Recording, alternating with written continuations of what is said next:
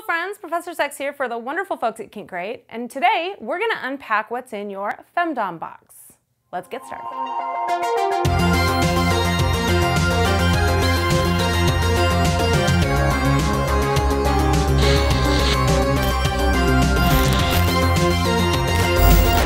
This bad boy here is the leather cock collar. Command your submissive's full attention by leashing the most sensitive part of their body. This leather cock collar is exactly what you need to bring them to their knees and have them begging for mercy. Let's see how it works.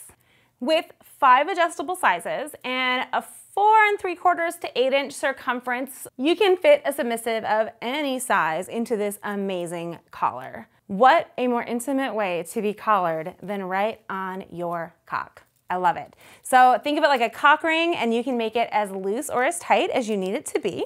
You can also double it up with a cock ring to get maximum constriction. So what's a cock ring do? Well, basically it provides constriction. If you put a cock ring on a fully erect penis, then you're keeping the blood flow in that boner so you can keep the boner harder and longer. Your cock collar can go around the base of the penis or it can wrap around the penis and testicles. Play with whatever sensation works for you and chat with your submissive to see what works best for them. This is the kind of thing that you want to play with ahead of time before your scene to get an idea of what's comfortable for each of you and then have a great time. Next, we've got this great eight piece red ruffle cuff and collar set.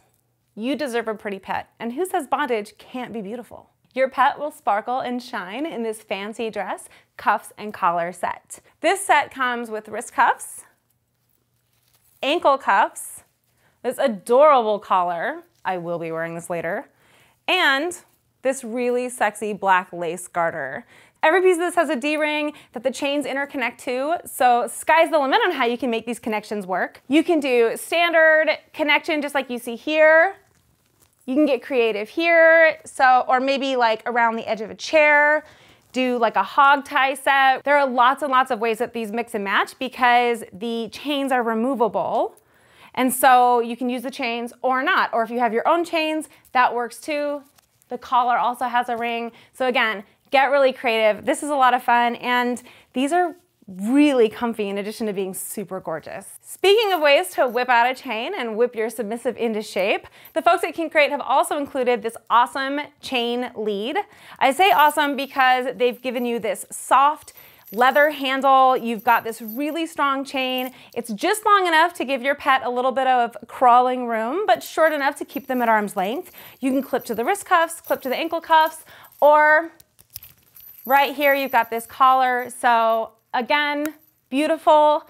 Dress your baby up like a kitten and have a great time. Next in our amazing Femdom box, these flirty, feathery nipple clamps.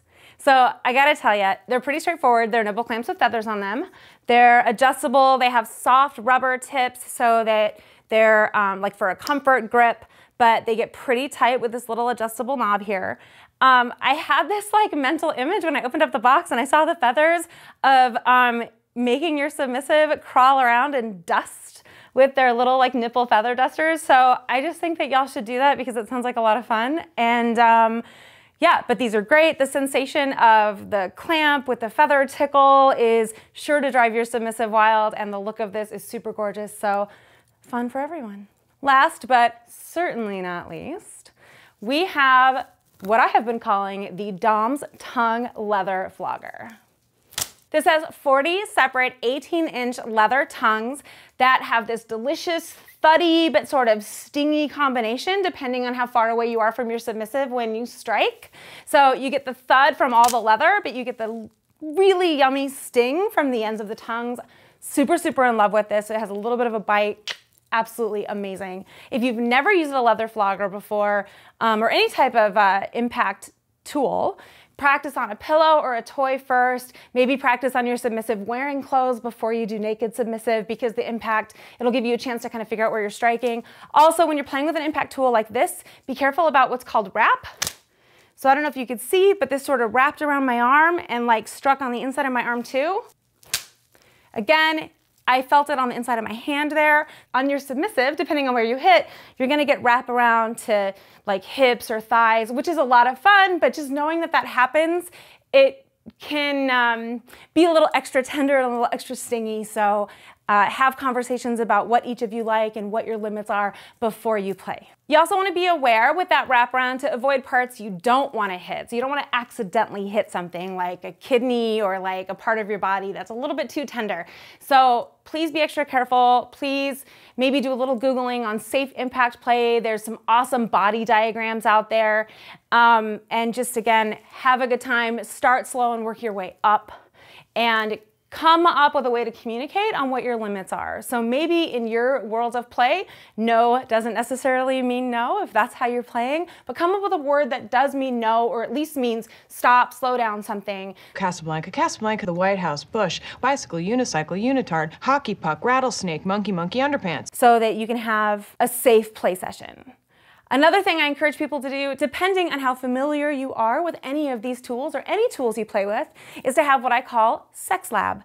So Sex Lab is where you take out time to play with your tools in a non-threatening, low-pressure environment. So the last thing you want to do is spend tons of money on a babysitter and hot date night in a brand new dress, break out a tool for the first time, have it not go super well, and then feel disappointed like your date night was ruined. Instead, if you play during Sex Lab, it doesn't matter if things don't go well. That's part of the fun, figuring out what works, figuring out what doesn't, having a good sense of humor.